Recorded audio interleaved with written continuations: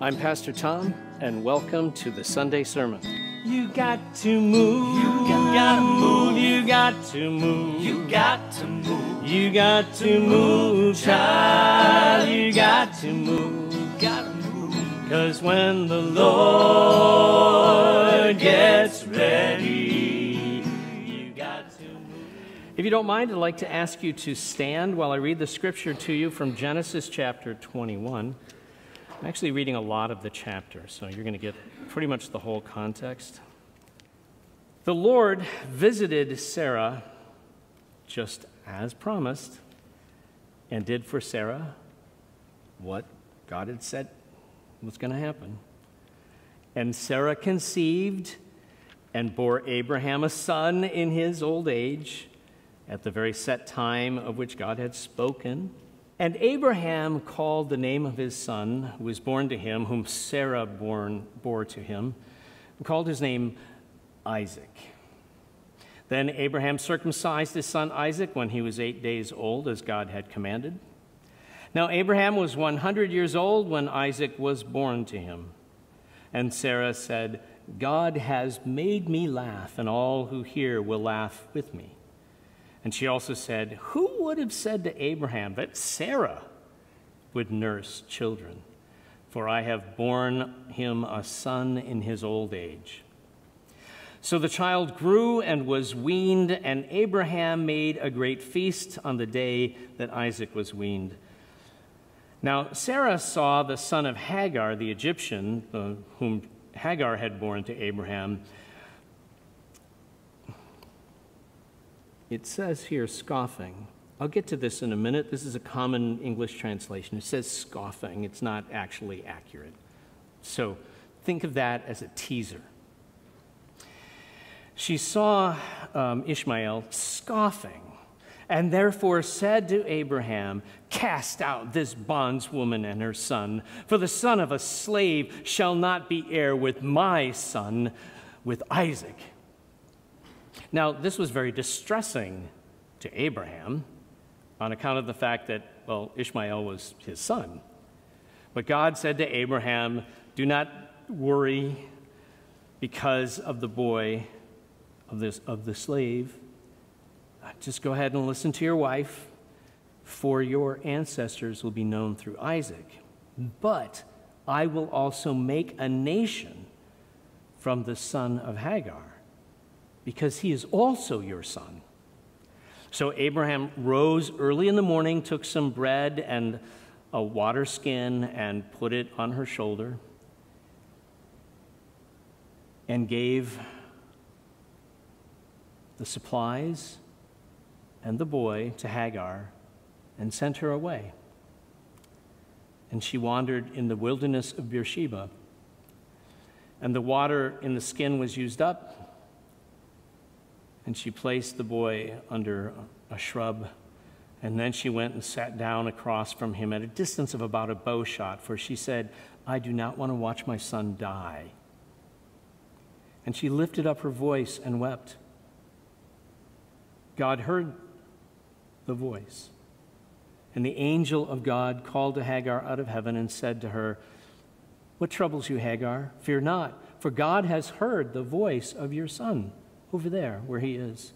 So arise, lift him up, hold him with your hand, for I will make him a great nation. Then God opened her eyes, and she saw a well of water. She went and filled the skin with water, and she gave some to her boy to drink. So God was with that boy, and he grew and he dwelt in the wilderness. You may be seated. I know. I read that story, it got really quiet in here because that's not a good story. You may not have even ever have heard this story before. You've heard the first part, but you might not have heard the second part. So let me fill you in on this sort of historical backstory. We have to go into the Wayback Machine. Good, some of you know that one. we go into the Wayback Machine, set it forward 3,000 years ago. We come to this world, uh, 4,000 years ago, three, 4,000 years ago, we come to this world in which Abraham lives. And you'll recall that Abraham desperately wanted a child. That was his number one existential concern. If, if at any time God were to say, Abraham, what's your deal? He would have said, I need an heir. That was his, that was his thing. And so um, God was promising him and reassuring him that this was going to happen. And so, as a result of that promise, and as a result of, now this part we know more from um, archaeology than from the scripture, but apparently there was a, a marriage contract between Abraham and Sarah, and a very specific kind of marriage contract that existed in that world where um, the agreement was she would be his only wife, he would only have one wife but she would guarantee an heir and was responsible for that happening. And so at some point, I assume Abraham went in and said, Well, God told me I'm going to have a kid, I'm going to have an heir, I'm going to have a son. you know? And so uh, uh, Sarah fulfills the obligations of the marriage contract, providing a, a surrogate, this slave girl named Hagar. And I got to remind you of this part of the story because when Hagar becomes pregnant, Suddenly, Abraham becomes somewhat fond of her. I don't want to say he fell in love with her, but you know, he treats her kindly. And Sarah loses it. Loses it. She's so hurt, angry, jealous. It's so all of those feelings that she's had for all of those years, being the woman who's not able to give birth to a son, to any heir, never getting pregnant, that the shame of, in that culture, the shame of that is just comes out all at once, and she goes nuts. She's cruel to Hagar. Hagar runs away. God finds Hagar in the wilderness and says, It'll be okay. I'm going to bless you. Don't worry. I'm watching over you and your son. It'll be fine. Go back. And Abraham, in response to Sarah's um, outburst, is like, Whatever you want, dear. Well, you got to fast forward a few years. um, so if we if we do the math, the text says that Abraham's like 100 years old when uh, Isaac is born, but understand that the way they, what they meant by a year was different than what we mean by a year, so he would have been 50. So he's 50, um, and then when you start doing all the other math, what we know then is that uh, at the time Isaac is born, um,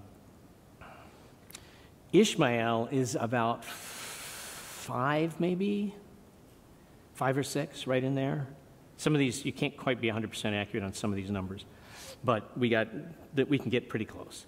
So, in res- when God comes to Abraham and and sort of introduces, like I no, you know um, I've, I've come here to let you know I'm going to bless you with an heir. And Abraham's like,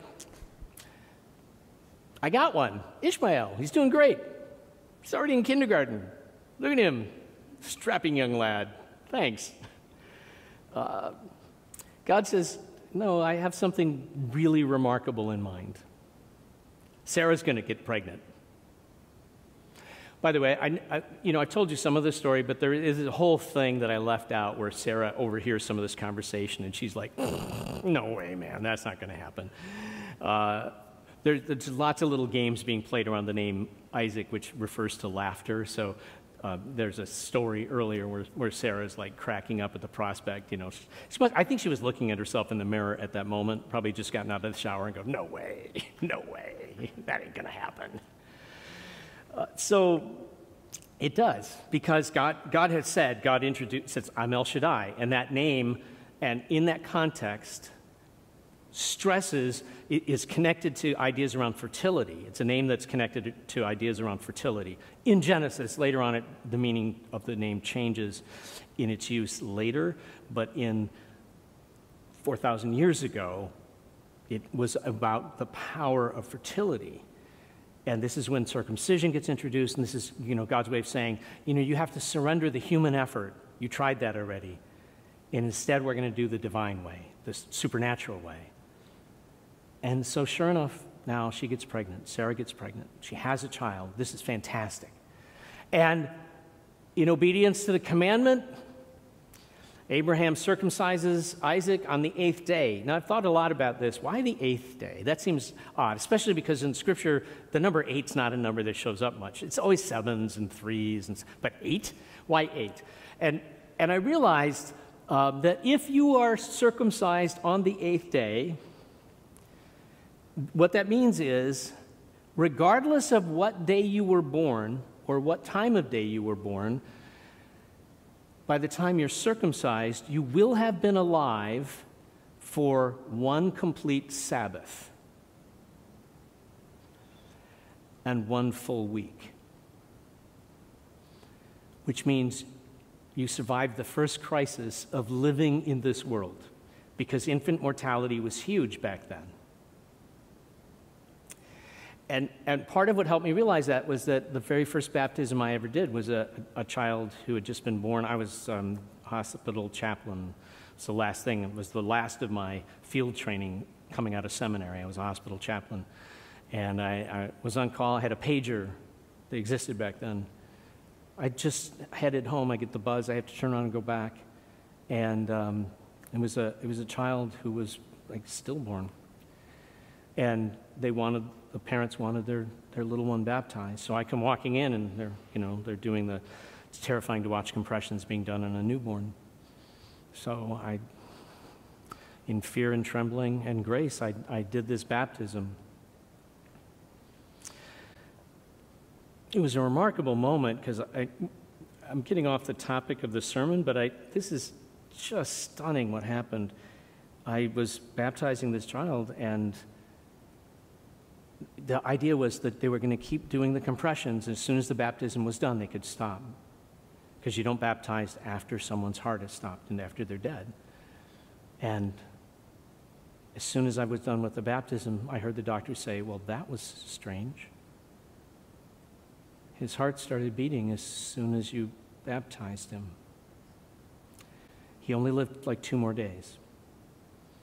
The healing grace in that moment was that God gave those parents a couple of days. It's a remarkable thing. Isaac has survived the first week, and that's pretty cool.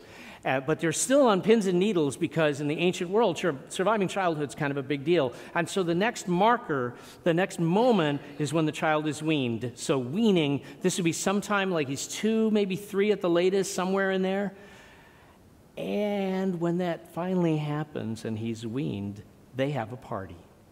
Because now it looks like he's going to live. He's actually going to survive into adulthood. And at this point, there party's going on, and you have this toddler, and you have the older brother who's at this point seven, maybe eight years old, somewhere right around there. Um, and they're, okay, so I read what the text said, scoffing.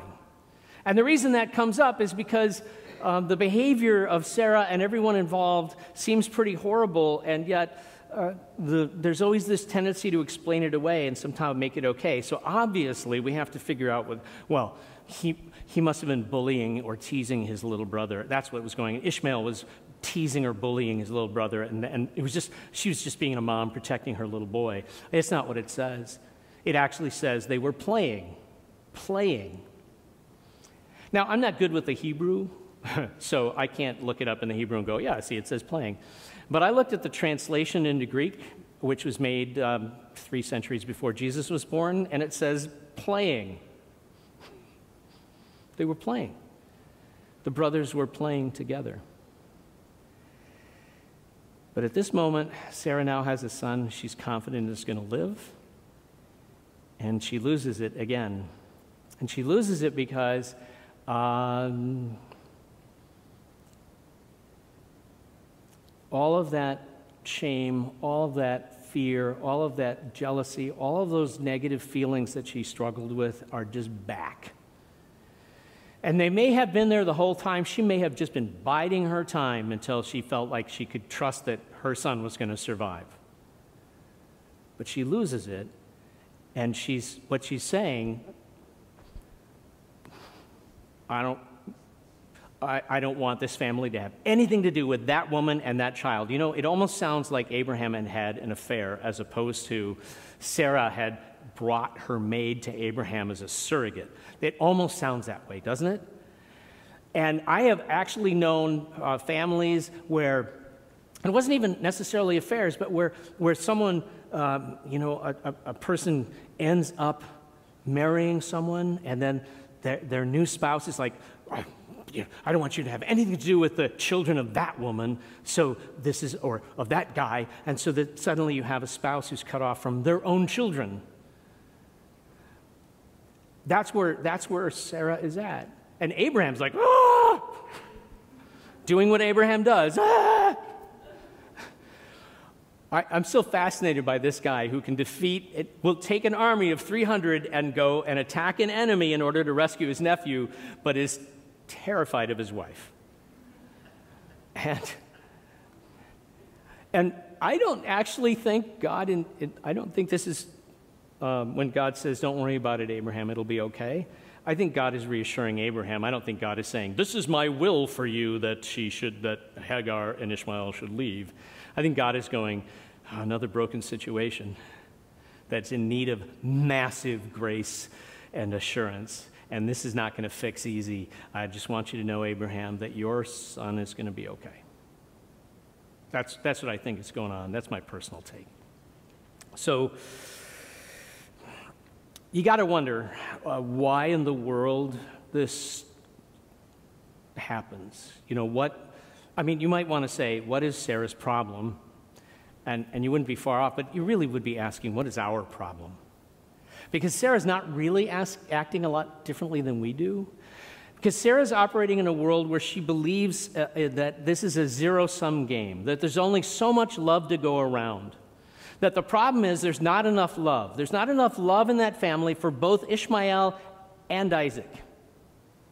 And for her, love is defined by inheritance, being an heir. But that within that family, there's just not enough love to go around. That it's a limited thing, and the only way that her son can get the love he deserves, and by extension, the only way she can get the love she deserves, if there's no competition for that love because there's only so much love. And we do this in churches all the time. I mean, that's why we have denominations. If you look at denominations and have conversations, what you realize is a lot of it is about who's included and who's not. Today is World Communion Sunday. Do You know why we have World Communion Sunday? Because we can't actually get together and do communion. We can't do communion together. Because churches everywhere define, like, well, you, we can't do communion with you because you're not included. We, we draw these lines around the table and we say, there's not room at this table for anyone but our kind. There's no space for anyone else but us. It's a zero sum game. That's what, that's what we've come to believe. Our denominations are, by definition, a realization of that, that, it's a, that we think it's a zero sum game, that God only has so much love to go around, and we need to carve out who's on the inside, us, and everyone else can be outside, because if they came in, that would mean less love for us, right? And we see this also in our culture when people resist uh, like giving rights to somebody in like just politics, and someone says, "Well, let's give the people the right to do this," and everyone's like, "Oh, you can't do that." Like, like if somebody has a right, that somehow takes something away from me. It doesn't take something. No, it's not a zero-sum game. Love is not a zero-sum game.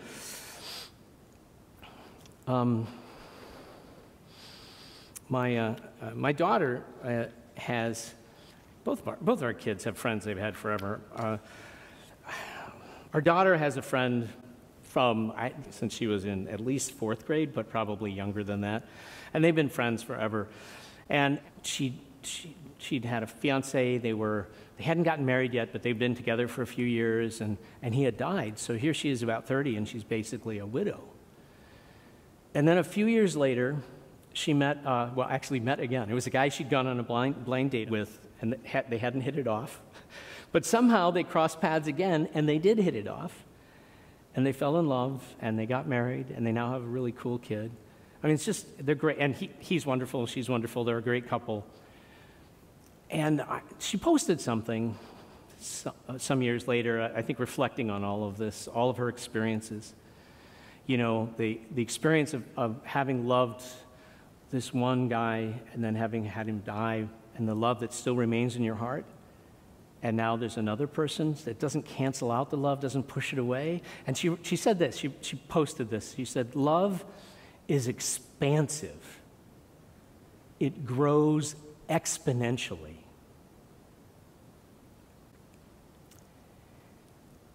There's never, you're never going to run out. It is an inexhaustible resource. Why? Well, the Bible tells us God is love. That's a lesson you probably need to learn. Can you please stand and find the prayer of response? We're going to pray that together. We constantly struggle, Lord God, to secure our place and stake our claim as though love is in short supply. We make our denominations and choose up our sides. We slice and dice our theology to determine who is counted and who is discounted.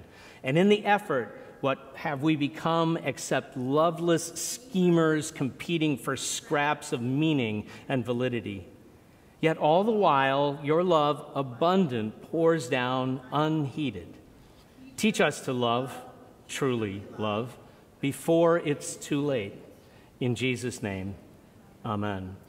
We'd love to have you join us for Sunday worship at 8:30 at the Christ United Methodist Church or 10:15 at the Stanton United Methodist Church. Until next time, may the Lord God bless you and keep you. May the face of the Almighty be upon you, and may God grant you peace. When the Lord gets ready, you got to move. Oh, you got to